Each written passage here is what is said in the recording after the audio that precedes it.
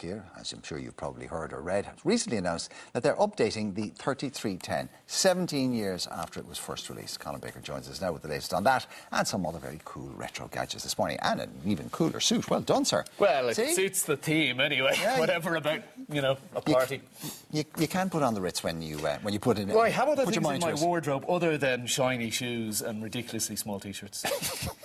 This is the legendary 3310 by Nokia. As you said, 17 years old. this year. 126 million Yes. I think it's Units a bit more than sold. Yeah, it was incredible. It was the first budget, decent, fashionable, quirky, um, reliable phone. And of course, Nokia ruled the world of phones at that time. And stage. it was the essence of of because uh, of mobile phones were enormous initially, and then people wanted no, make it smaller, make it Mm. More compact, yeah, make yeah, it fit yeah. in my top Yeah, pocket. yeah, yeah. And, it was this was just- the epitome yeah, of it. Exactly. Now yeah. we've And it- gone the other direction it, again. It had all the functionality people needed and wanted. And I suppose the biggest function and the thing that people lament the loss of today is the standby time. No matter how funky our phones are, they last a day, maybe a day and a half. Battery length for your average one of those. I remember a Three story days? recently where a chap found one of these in a, a trouser pocket, pocket that he hadn't seen the trousers in sort of 15 years, and he took it out, turned it on, and it was working. You're kidding. Now, I, I mean, Normal usage, about, you get about three days, if I remember correctly. I mean, look, on, a on, on something like this, it was about a week uh, on standby.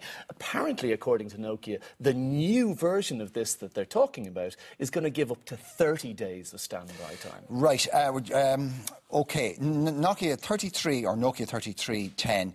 Uh, they reckon it'll come out around 50, 60 euro? Yeah, 50 or 60 Now, it will be a basic phone, very little access to. Um, There is web connectivity. So there's a browser and there's an email option apparently, but it's not an operating system like iOS on your iPhone or This is for making phone calls. This is for making phone calls, sending text messages, playing Snake. Apparently, there's an upgraded Right. version of Snake. and it is virtually indestructible. You Yes, exactly. drop it from a skyscraper, and the chances Yeah, are. Apparently so. And at the end of the day, if you do manage to destroy it at a festival or out at night, it's 50 euro as opposed to 500 or 600 Right. euro for some of the. Okay. Now, next. Um, Vinyl, of course, uh, one of the few areas of the record business that are actually that is actually growing. People are using streaming services. Etc. But vinyl has come back in, and of course, nobody has a turntable anymore. I don't get it. So- I, some people say This is the Ion this is vinyl warmer music Oh, and, and a better tone. I think it's rubbish. But at the end of the day, I guess music is for I mean, it's whatever people want it to be. It's an experience. But I'm a Spotify guy. I like the convenience of digital.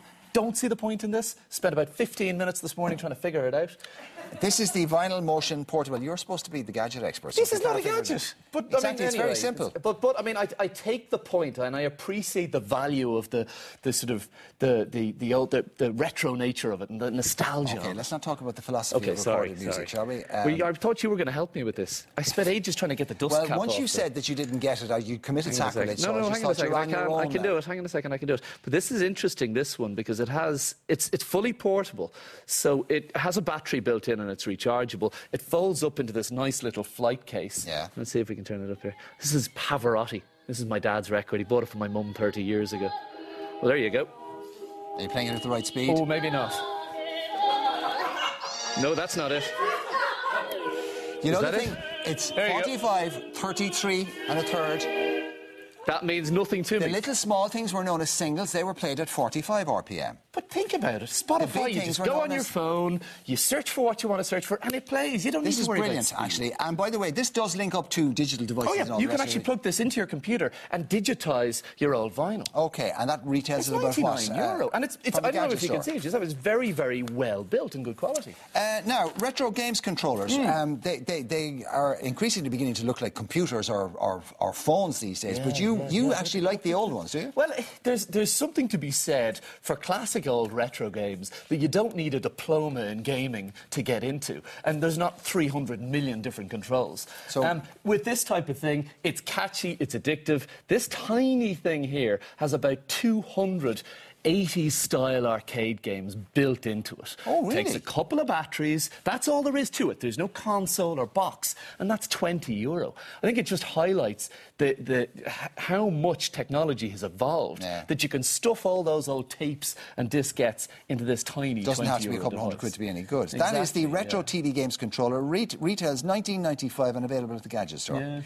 Right, Cool and of course you get 200 retro cla- cla- uh, classics. It plugs into any TV. Tiny joypad controller. That and the it is. Cheap, cheap, cheap, games, cheap, cheap. very Mario style. Right, uh, gadget number four. This is the Roberts R1 uh, streaming retro radio. Now, this is one of the great devices. Hmm, well, this is this is more my For people style. who don't have broadband and Wi-Fi, etc., and who, who want music, want access to communication, but you know. Well, don't you have a plug socket handy. That's true, but you do actually need a plug socket for this, and you do need internet for this. But Now, uh, is that not the one that you can recharge? No, with the no, handle? no, Oh, this is sorry. totally different. This is Roberts. Obviously, we know Roberts from the days of the traditional 50s, 60s, well put together transistor radios. We used to have a Bush version of that. That's right. That's a new version. Actually, of we're that, not. Actually, we're on, we're on something else here now. Um, Oh, this is the UNDOK app that is rel related to the Roberts streaming radio. This is the R1. It's about 200 euro, and it's got the very, very much the style of the uh, the transistor radio, and it plugs in. So there's no battery in this, but this actually acts as a Wi-Fi uh, radio, a multi-room stereo that links into the app on your phone and allows you to, to, to link into the music you've already downloaded, Spotify, Apple Music, or any number of online radio stations. So no knob twiddling, it's all straight on your, on, on your, on and your you app. control it with your phone, effectively. Straight off an app on your phone. yeah. Okay, so really, enough. really simple to use, but it's got that retro style that we All kind of like. Uh, there's, you know, we, we never get too old for toys, really, do we, Colin? Not really, not really. It's Uh, just the price of toys that yeah. changes. Hmm. this is uh, the Bigtrak, 69 euro. I, I never had one of these, by This the way. is oh, not just made before we go any further, the Yeah. Roberts radio is 199 That's right, yeah. Right, yeah, okay. yeah. The, this is the Bigtrak, and I don't know if any of the viewers or if you, if you remember this or Well, recognise it in my yourself. day. Tonka, this is different. This was the teched up version of the Tonka. No, Tonka this was released yourself. in sort of the early 80s, and it was kind of the first real computerized robotic toy. And as you can see it moving along there, what you'd actually do is you'd click on, do you see the control panel on the top of it there? So you would set, it was built around the average size of a, a- a child's foot, and you could set go eight feet that way, turn left, go nine feet that way, and you could pre-program up to 16 instructions, and it actually came with a trailer as well, and you could actually pre-program it to drive around your house, pick up a cup of tea, and come back into you. Now that could have been quite Those messy, things also took about 20 of those huge, enormous batteries. That's they? right, the big D-size batteries. It took me ages to find them yesterday. You spent all your birthday money just on You one. pretty much on batteries. Now, this was a, a very much at the time back in the 80s. This was a rich kid's toy. I didn't get to have one. I had to wait 30 years to get one. But uh, absolutely awesome device back in the day, and really, really great for the the, the, the techie back 30 years ago. I can't believe you can't hear the difference between vinyl and digital. I can. It's rubbish. That's. I can completely hear it. Go away. Just get up. It's true. Just, It's oh. basic technology. you're an utter philistine. I, mean, I realise that, You're a but I take guy. that as a compliment. Listen to me. He knows as much about records and sound as he does about clothes. Yeah, whatever that means. Good, good underhanded Colin, thank you very much. compliment kind of thing. Rupert, Rupert the bear is missing his suit.